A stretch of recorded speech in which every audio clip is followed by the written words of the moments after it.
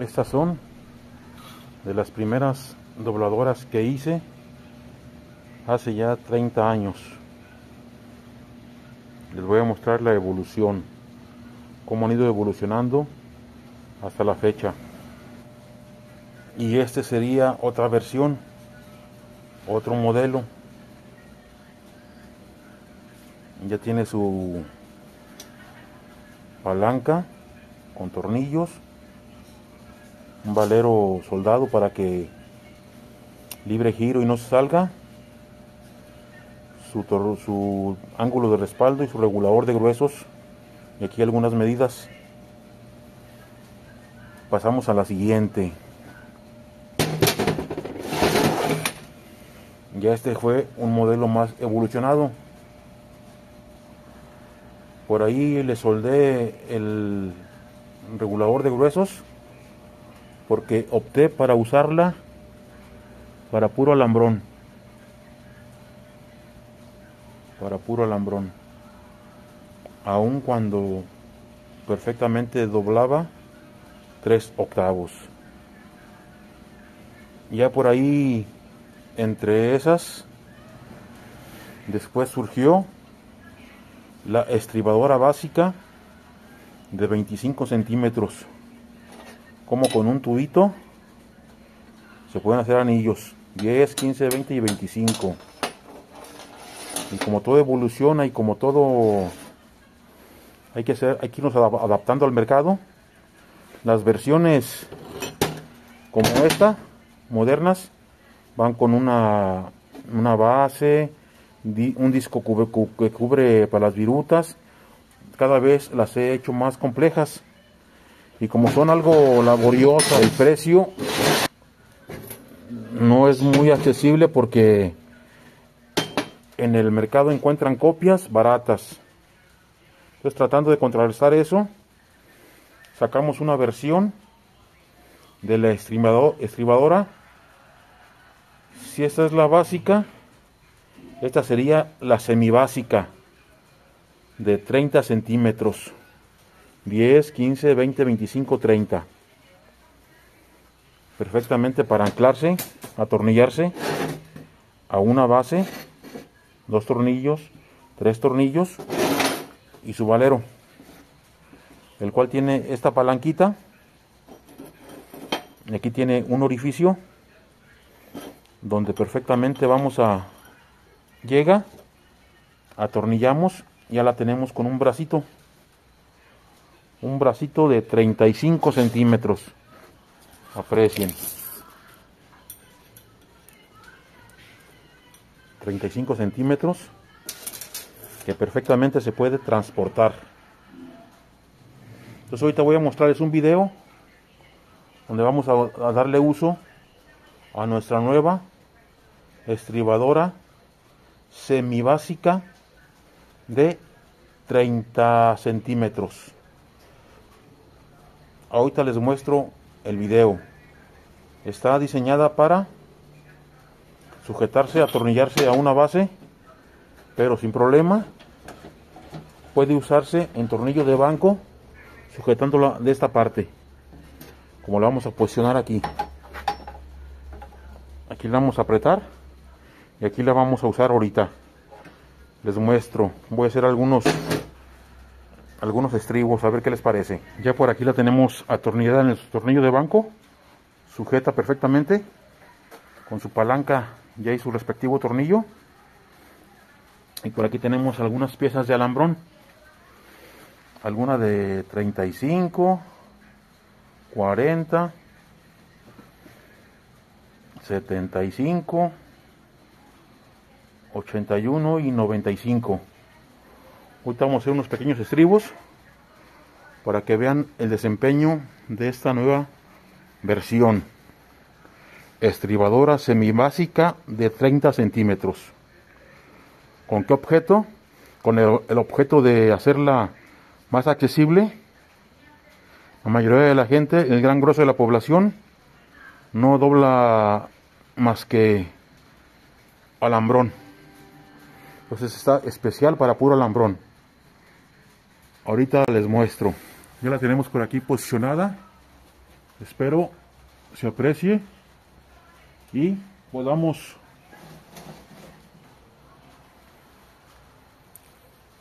hacer algunos estribos.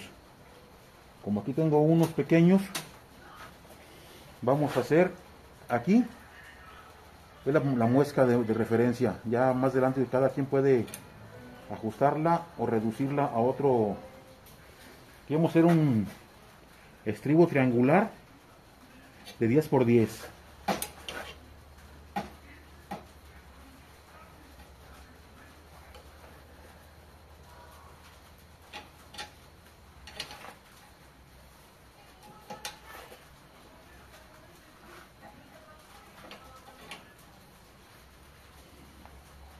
aquí me equivoqué y debí haberla hecho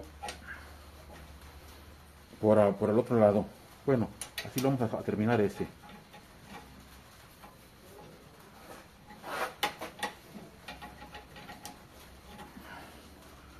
Aquí faltó darle poquito más a esta pieza. Ahí está. Un estribo triangular de 10 por 10 ahora vamos a hacer un estribo de 4 por de 10 por 10 cuadrado aquí queda uh, cuando son estos estribos muy reducidos no conviene hacer el gancho antisísmico porque al hacerlo antisísmico obstruiría el flujo del, del colado. Entonces por eso conviene no hacerlo antisísmico pero se puede hacer antisísmico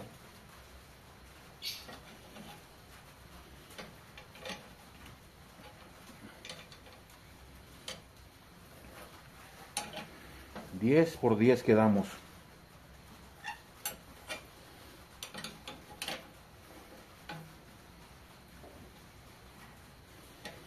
Por debajo.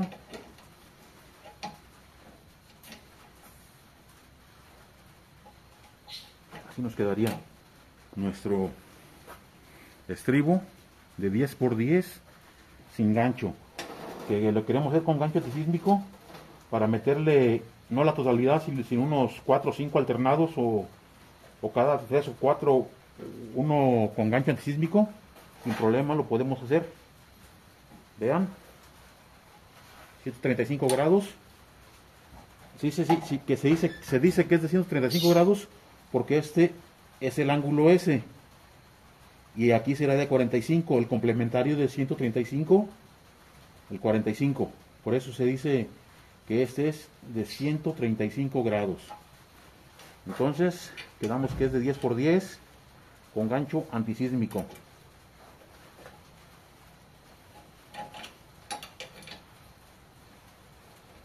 Como todo, se requiere un poco de práctica para que nos queden bien.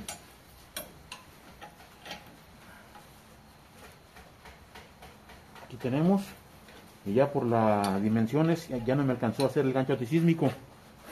Pero esta es la idea.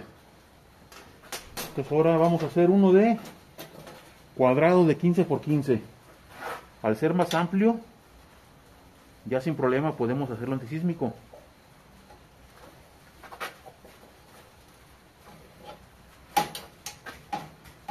Quedamos que es de 15 por 15 Aquí ya va a ser criterio de cada quien si usarlo pegado acá o pegado acá, dependiendo la, la medida que, mejor se les ajuste. Ahorita estoy usándolo la exterior.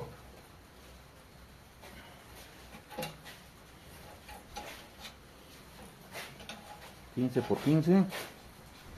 ...con gancho antisísmico... ...que tampoco nos está alcanzando para el gancho... pero ahí anda. Cosa de revisar las dimensiones para en su momento adecuarnos más. Este dice que es de 75 de 75 vamos hacerlo de 15 por 15 porque ya de 20 por 20 ya no alcanzaría. Vean hay quien hace primero el gancho este al revés. Lo pone aquí y hace esto. o se puede hacer como lo hice yo, poniendo este y dándole para acá. Tiene la, desventaja de que esto le estorba, pero es como se les em, facilite mejor. Ya una vez este hecho el gancho antisísmico, damos vuelta a 90.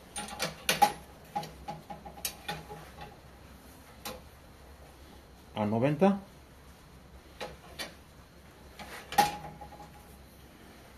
A 90. Y a 90. Vean cómo aquí lo que les comento que va a ser necesario calcularle para que el gancho nos quede. El gancho se recomienda por regla que sea cinco veces el grueso del, del, material. Entonces por eso se, mínimo cinco, cinco gruesos. Pues ya, cada quien que lo ocupe va, a tener que hacerlo a su necesidad. Para no hacer el video muy largo, vamos a hacer unos de 25 por 25 a ver si nos alcanza. Igualmente, como lo que les comentaba, cuando está muy largo conviene hacer primeramente el gancho antisísmico. Luego 10, 15, 20, 25. A ver si nos da de 25. No, mejor de 20 por 20 para que nos quede. Este fue de 15, este va a ser de 20 por 20.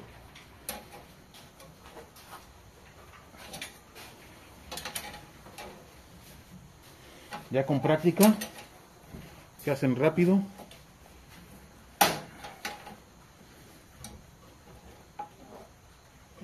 Y a, la, necesidad de cada quien.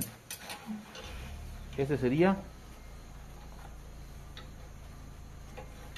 uno de 20 por 20. Aquí falta que lo cerremos. Lo cerramos poquito. De 20 por 20. A ver qué les parece, compañeros. La nueva estribadora semi básica. Por ahí la pintaré. Y para poderlo ofrecer, a ver qué se interesa por ella. Como les digo, la idea es hacerla más accesible a un mayor número de gente. Las herramientas que yo hago son las originales, van muy bien hechas no escatimo ni tiempo, ni materiales, ni nada para que, el, para que sea un producto de calidad. Pero aún así, vamos a tratar de este competir